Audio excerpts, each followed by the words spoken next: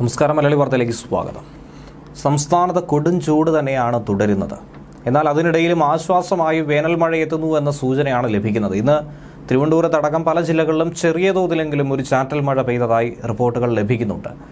എന്നിരുന്നാലും കൊടും ചൂടിന് ശമനം ഒന്നും തന്നെ ഇല്ല എന്ന് വേണം മനസ്സിലാക്കാൻ. ഇന്ന് കേരളത്തിലെ വിവിധ ജില്ലകളിൽ മഴയ്ക്ക് സാധ്യതയുണ്ടെന്ന് രാവിലെ തന്നെ കേന്ദ്ര കാലാവസ്ഥ വകുപ്പ് അറിയിച്ചതാണ്.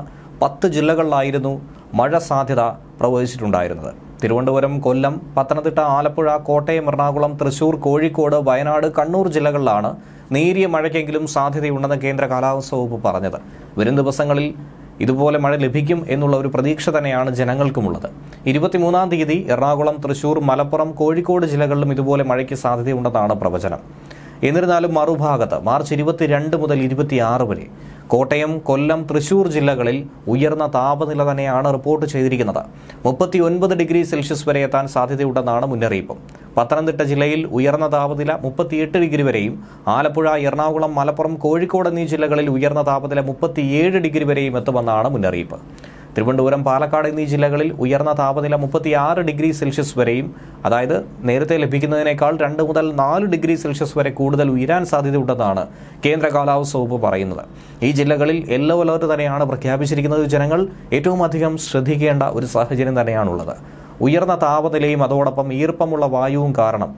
ഈ ജില്ലകളിൽ മലയോര മേഖലകളിൽ ഒഴികെ രണ്ടായിരത്തി ഇരുപത്തിനാല് മാർച്ച് ഇരുപത്തിയൊന്ന് മുതൽ ഇരുപത്തി അഞ്ച് വരെ ചൂടും അസ്വസ്ഥതയുമുള്ള കാലാവസ്ഥയ്ക്ക് സാധ്യതയുണ്ട്. ഉയർന്ന താപനിലയും ഈർപ്പമുള്ള വായുവും കാരണം ഈ ജില്ലകളിൽ പ്രത്യേകിച്ചും മലയോര മേഖലകളിൽ ഒഴികെയുള്ള ഭാഗങ്ങളിൽ മാർച്ച് ഇരുപത്തിരണ്ട് മുതൽ ഇരുപത്തിയാറ് വരെ ചൂടും അസ്വസ്ഥതയുള്ള കാലാവസ്ഥയും തന്നെയായിരിക്കും അനുഭവപ്പെടുന്നത്. ഇങ്ങനെ സംസ്ഥാനത്ത് ഉയർന്ന ചൂട് തുടരുന്ന സാഹചര്യത്തിൽ ജലജന്യ രോഗങ്ങൾക്കെതിരെ ജാഗ്രത പാലിക്കണമെന്നാണ് ആരോഗ്യവകുപ്പ് മന്ത്രി വീണ ജോർജ് പറയുന്നത്. വേനൽക്കാലത്ത് ശുദ്ധജലത്തിന്റെ ലഭ്യത കുറവായതുകൊണ്ട് തന്നെ ജലജന്യ രോഗങ്ങൾ ഉണ്ടാകുവാനുള്ള സാധ്യത വളരെ കൂടുതലാണ്. വയറിളക്ക രോഗങ്ങൾ നിർജലീകരണത്തിനും തുടർന്നുള്ള സങ്കീർണ ആരോഗ്യ പ്രശ്നങ്ങൾക്കും കാരണമാകും. വയറിളക്ക രോഗങ്ങൾ മഞ്ഞപ്പിത്തത്തിന് കാരണമാകുന്ന hepatitis A hepatitis C cholera typhoid shigella തുടങ്ങിയ അസുഖങ്ങൾ കൂടി ഉണ്ടാകാനുള്ള സാധ്യത കൂടുതലാണ്. ഉയർന്ന ചൂട് കാരണം പെട്ടെന്ന് നിർജലീകരണം ഉണ്ടാകാൻ സാധ്യത ഉള്ളതുകൊണ്ട് തന്നെ ദാഹം തോന്നിയില്ലെങ്കിൽ പോലും വെള്ളം കുടിച്ചുകൊണ്ടേയിരിക്കണം.